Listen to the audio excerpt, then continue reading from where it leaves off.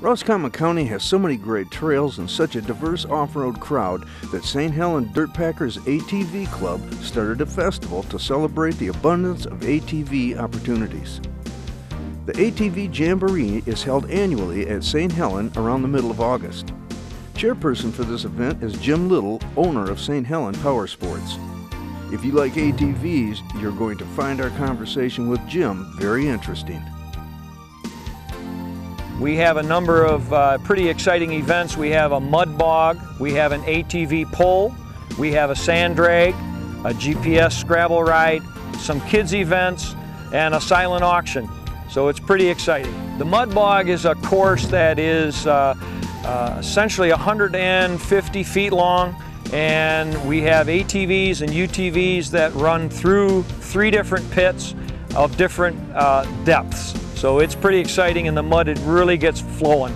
A UTV is a utility terrain vehicle. A lot of people call it a side-by-side. -side. You know, like this unit behind me, this is a utility vehicle. Uh, it is a side-by-side. -side. This one's tricked out pretty much. It's got some pretty aggressive tires on it. It, it has a snorkel kit on it and it's really made to be doing some mud bogging. You'll see this one out in the course. Last year we had a little over 100 vehicles participating with another 200 people spectating. This year we expect to have even more than that. Of course the weather does have some impact. We, we have had a little bit of rain today, but that'll keep the dust down. Last year our furthest person came from actually Massachusetts. So they came from quite a ways away. The majority of the competitors come from Michigan, Ohio, Indiana. We do do a lot of advertising through uh, ATV magazines and, and uh, you know, that sort of thing. To be a spectator, there is no charge here at St. Helen, which is a little unusual for most ATV events. Uh, we don't charge anything at all. We do have donation cans around the event so people can contribute but it, they obviously would want to bring umbrellas if they have lots of sun and bring some uh, rain gear possibly, uh, but bring some money for the silent auction and, and enough to buy from vendors and food and things like that. The ATV Jamboree is held on the Richfield Township Park, and the park is right next to the Richfield Township Campground. The campground has both improved and it has rustic campsites. Uh, every Jamboree we fill up the entire campground uh, but the campground is unique in Michigan because it is connected directly to the DNR trail system.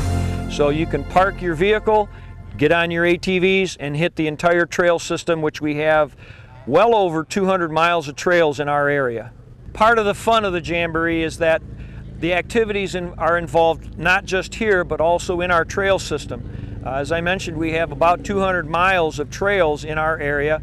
One of the interesting things is we have the uh, St. Helen Motorsports area, which is a designated place for motorsports activities. It has a scramble area, a sand bowl. It also has what we call the Rocks, which was just made by the DNR. They spent over $100,000 in the Rocks, uh, which is a rock climbing course out in the motorsport area. The, the rock climb is not involved in the Jamboree per se. Uh, it really is set up for larger units like um, the UTVs and Jeeps. Uh, you'll see Jeeps out there on the rock crawl. And we do have, through the course of the year, we do have other events that will include the rocks. The best way to find out what events are happening uh, is to really just get on the Dirt Packers uh, website or the Dirt Packers Facebook page, and we do send out messages as to the activities in our area that are happening. As far as the Jamboree, um, we do have a registration tent here and we do put out information regarding the, the registrations well in advance of the, of the Jamboree and they simply have to sign up. They can do that on the website. This is a community event. The Jamboree is put on by the community of St. Helen. Uh, it is sponsored by the Chamber of Commerce, but a lot of people are involved in putting this on. A lot of companies have contributed.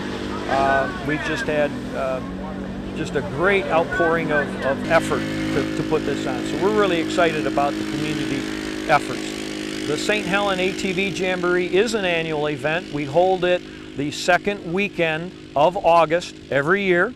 So come on up and en enjoy the Jamboree, the mud, and, and all of our events next year. We look forward to seeing you.